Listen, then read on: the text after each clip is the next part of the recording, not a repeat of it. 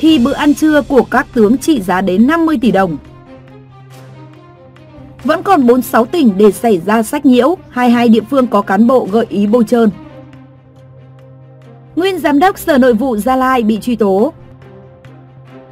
Cà Mau giao đất làm dự án du lịch nhưng 11 năm qua chỉ nuôi tôm. Khi bữa ăn trưa của các tướng trị giá đến 50 tỷ đồng. Thưa quý vị và các bạn, đó là bữa ăn trưa tại phòng ăn của Thủ trưởng Bộ Tư lệnh Cảnh sát Biển vào đầu tháng 4 năm 2019. Khi đó, Trung tướng Nguyễn Văn Sơn, Tư lệnh Cảnh sát Biển trao đổi với Trung tướng Hoàng Văn Đồng, Chính ủy, Thiếu tướng Doãn Bảo Quyết, Phó Chính ủy, Thiếu tướng Phạm Kim Hậu, Phó Tư lệnh và Thiếu tướng Bùi Trung Dũng, Phó Tư lệnh về việc đã chỉ đạo cho Cục Kỹ thuật rút ruột 50 tỷ đồng trong tổng số tiền 450 tỷ đồng từ nguồn kinh phí quản lý hành chính năm 2019 mà Bộ Quốc phòng phân bổ. Số tiền khổng lồ trên sẽ được chi chác cho nhóm tướng lĩnh này và tất cả đều đồng ý. Để rút ruột, tướng Sơn chỉ đạo phòng tài chính cắt toàn bộ nguồn kinh phí bảo quản, sửa chữa trang bị của 4 vùng cảnh sát biển để phân bổ thêm 29 tỷ đồng cho Cục Kỹ thuật, nên nguồn ngân sách của cục này được tăng lên 179,1 tỷ đồng.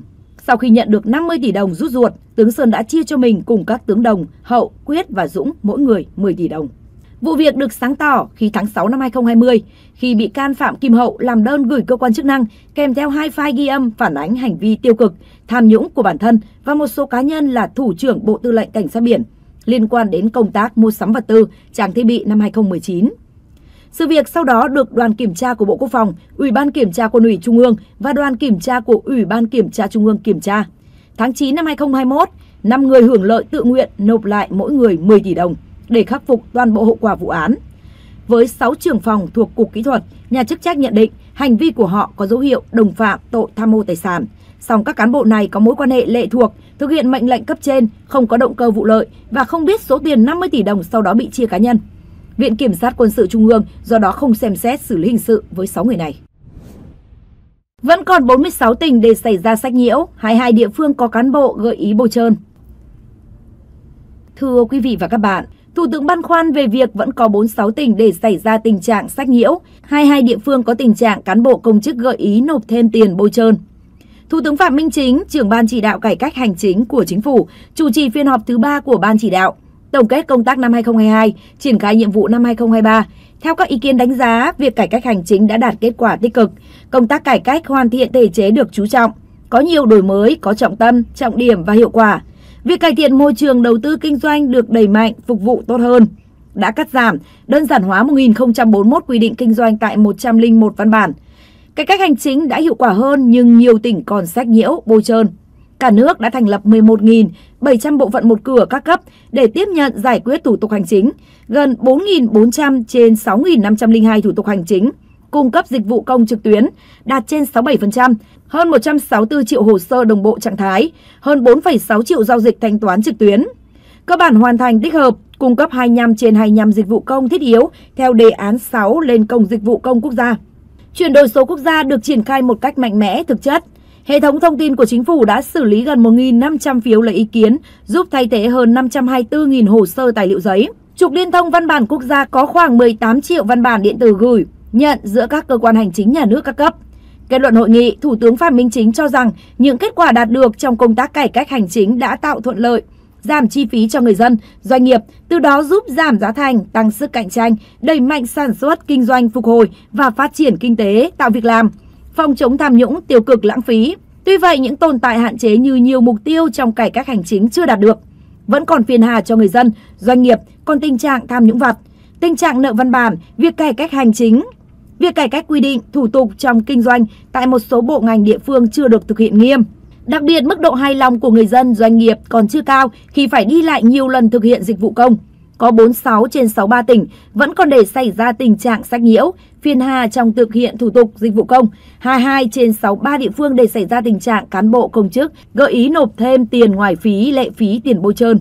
Chỉ ra nguyên nhân, Thủ tướng nói do nhận thức chưa đúng tầm về sự quan trọng cải cách hành chính, có nơi người đứng đầu còn né tránh sợ trách nhiệm, ảnh hưởng đến tiến độ, công tác phối hợp giữa các cơ quan đơn vị còn thiếu chủ động chặt chẽ. Với yêu cầu tiếp tục cải cách hành chính, Thủ tướng yêu cầu phải bám sát các chỉ đạo tăng cường trách nhiệm người đứng đầu. Trong đó địa phương cần đẩy mạnh ra soát ban hành nhiệm vụ, giải pháp để tạo đột phá, hoàn thành việc nợ động, cắt giảm, đơn giản hóa các chương trình, bãi bỏ các điều kiện kinh doanh không cần thiết, không khả thi.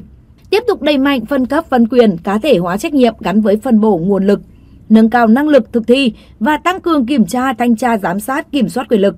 Sắp xếp bộ máy, tinh giản biên chế, nâng cao chất lượng đội ngũ, cải cách chế độ công vụ, nâng cao kỷ luật, kỷ cương hành chính, thực hiện kết nối, chia sẻ các cơ sở dữ liệu quốc gia, các hệ thống thông tin phục vụ chỉ đạo điều hành.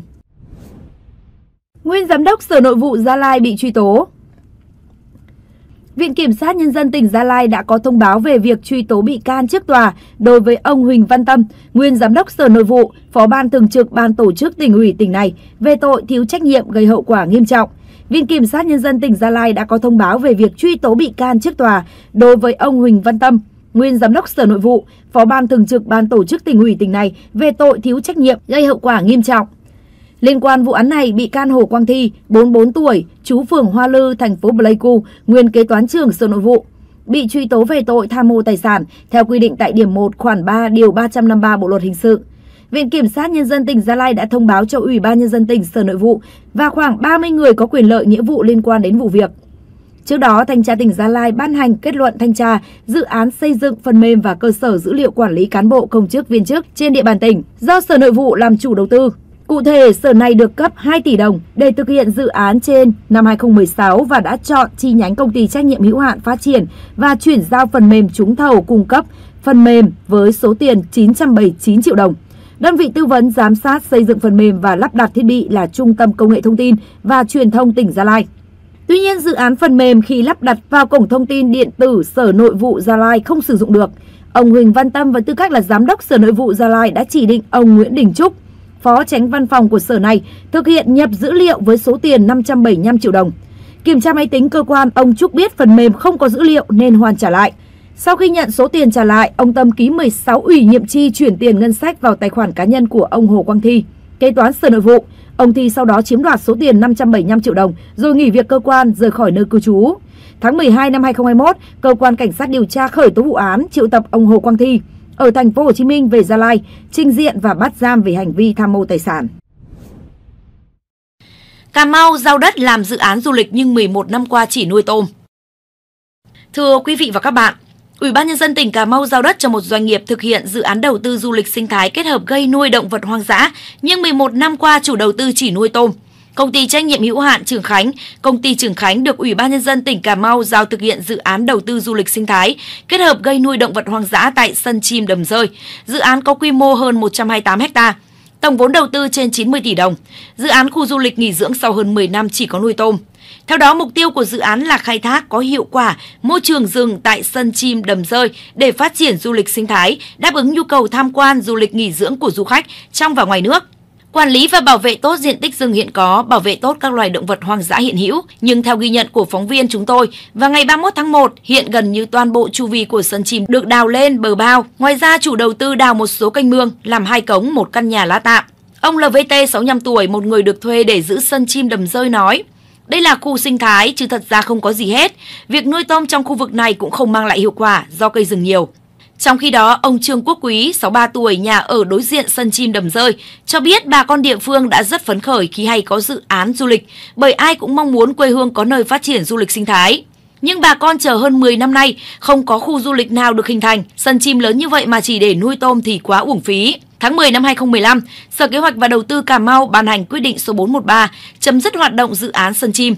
Sau đó với lý do không có khả năng thực hiện dự án theo tiến độ đăng ký với cơ quan đầu tư, đơn vị này tiếp tục ban hành quyết định số 458 thu hồi giấy chứng nhận đầu tư và thông báo về việc chấm dứt hoạt động dự án của công ty Trường Khánh. Đến ngày 18 tháng 7 năm 2016, ông Nguyễn Trường Khánh là người đại diện theo pháp luật của công ty khởi kiện ra tòa án. Tại bản án sơ thẩm ngày 9 tháng 1 năm 2017, hội đồng xét xử nhận định việc phó giám đốc thay giám đốc Sở Kế hoạch và Đầu tư ký ban hành quyết định số 413 chấm dứt hoạt động đầu tư đối với công ty Trường Khánh là sai thẩm quyền. Hội đồng xét xử cũng nhận thấy việc chậm triển khai là có nguyên nhân khách quan của cơ quan nhà nước. Ngoài ra, việc chấm dứt hoạt động đầu tư đối với công ty áp dụng luật chưa đúng và cũng chưa quá 12 tháng so với tiến độ thực hiện dự án đầu tư quy định tại giấy chứng nhận đầu tư. Do đó, Hội đồng xét xử cấp sơ thẩm hủy các quyết định số 413, 458 và khôi phục tình trạng pháp lý ban đầu cho công ty Trường Khánh được tiếp tục hoạt động đầu tư dự án.